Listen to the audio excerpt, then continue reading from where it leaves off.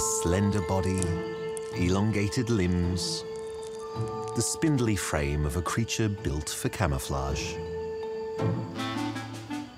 But unlike its brown, twig-like cousins, this phasmid is striking. Its body gleams in shades of teal and turquoise, broken only by red antennae. And if its colors don't warn you that it's different, its defense mechanism certainly will. When threatened, the peppermint stick insect doesn't flee. Instead, it sprays.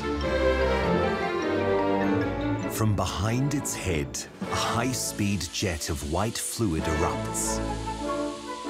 A chemical cocktail designed to repel.